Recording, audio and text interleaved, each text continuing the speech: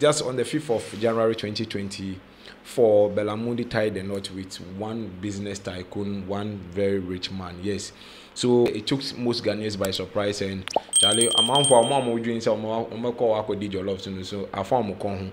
Yes, so if you thinking you would go there to go get some jollof and eat on that faithful day, Charlie, I'm far because the thing it was done in privacy, so they didn't uh, make it wasn't made known to the public as you know most celebrities have been going about declaring they'd have some flashy kind of wedding and co so that they flaunt things. And though this guy is very rich they did none of those things. They never made it known to the public. But then hey they said no pictures no videos no take pictures and videos under the wedding ceremony. But then paparazzi is the more chrome so people have managed to bring forth some pictures and videos of which you see on your screen.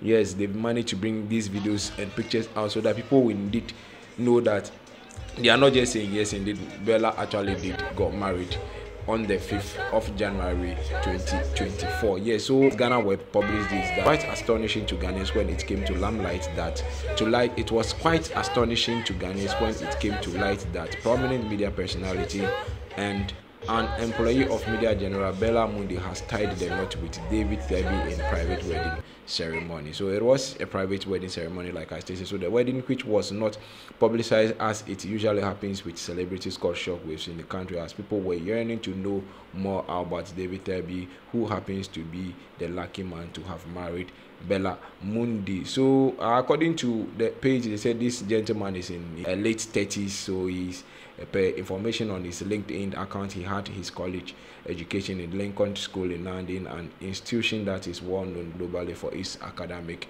exploits. So he also further went to tertiary, uh, had his tertiary education level education level where he attended Atlantic River University in Canada and that was when he bagged his first degree and he also served as operations manager for Barbex group for 12 solid years which helped him boost his managerial skills. And so according to sources he has 2 million US dollars in his account so which he also owns some luxurious cars. But then they say his favorite is um, that's Rolls Royce. I don't know how they were able to manage to know that his favorite is Rolls Royce. He also boasts of impressive real estate. So, a gentleman is also not a business tycoon. He's also into real business, and so he said he has some business. Uh, has about impressive real estate business featuring seven state-of-the-art mansions strategically across the country. So they tied a knot on the 5th of January 2023. But then, yes,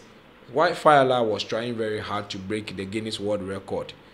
That was the time that Bella thought that is why this is actually the perfect time for me to you know go and marry because the whole attention is on Firela because Ghana they they've decided that we are going to do singaton, cookathon, then all the turnstones in the world. So it's like oh since I did this is the perfect time for me to also go and marry. So yes indeed Bella Mundi is off the market they did a private wedding ceremony. They said no pictures no taking of pictures no taking of videos. But then the paparazzis have managed they've maneuvered and they've been able to bring us some pictures and images which we sharing with you on the screen. So you've seen them on the screen. So yeah it was a nice wedding. It was a beautiful wedding. They held yes the, the, the dressing and the charlie the atmosphere look can tell you that Charlie normal course well, a whole lot of things did happen that yes. So if this is your first time of visiting our channel, I'm pleading with you to do us a favor by smashing on that subscription button you see on the screen, like the video, and also share your thoughts with us in the comment section.